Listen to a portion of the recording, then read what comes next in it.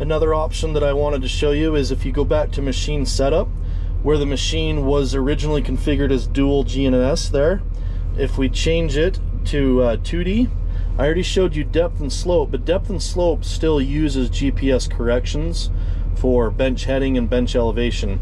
If we configure the machine straight to 2D and hit apply, now our screen is different on here. You can see at the bottom here, you can still go ahead and do a bench elevation. We can go ahead and bench out. Bench elevation successful. It's still in 2D. We can still pitch it. But the problem is if we pitch it to the side in 2D,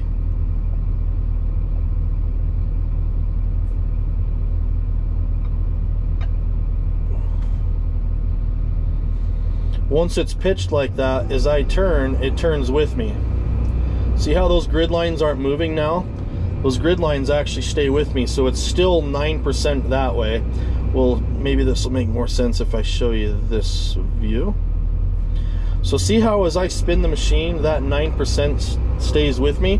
In depth and slope, with a bench heading, that makes it to where if I'm bench heading this way, and I make it 9% that way, as soon as I turn to the left, it's still going to know where that original left was.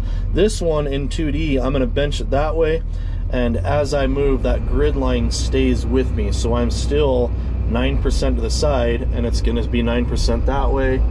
Same thing right here, 9% that way. That's the only difference that we have to be aware of with the 2D versus depth and slope.